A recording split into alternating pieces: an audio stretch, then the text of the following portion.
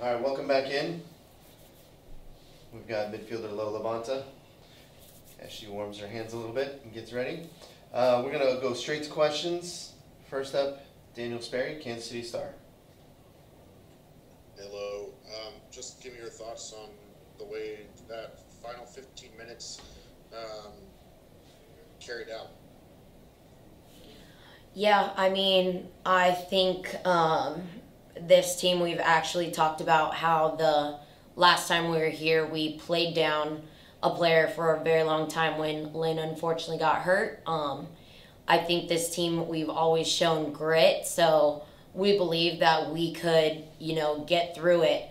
And I mean, we almost did all the way until the end. That's unfortunate, you know, it bounces their way um, and not our way. And so, you know, it's it's hard. It's very gut wrenching for the girls to have to battle through that and for it to end like that. Um, but I mean, I think we showed we I think we dominated actually those remaining minutes. So that's why it hurts the most because we actually believe we could do it. We showed that we can do it and just got taken from us in the end, which hurts the most usually. I know you guys will not now have a home playoff match, but it's the way that this ending. I know it's going to leave a sour taste in your mouth. Is that just more fuel to the fire for when it comes playoff time against Houston?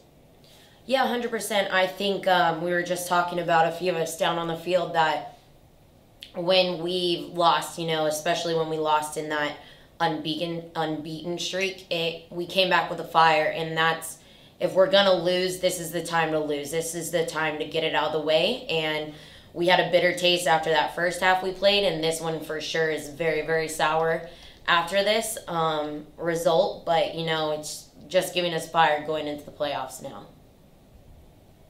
Thanks. Thanks, Daniel. Wes Underwood, did you have your hand up? I did, but Daniel got it. All right, sorry about that. Any other questions for Lo?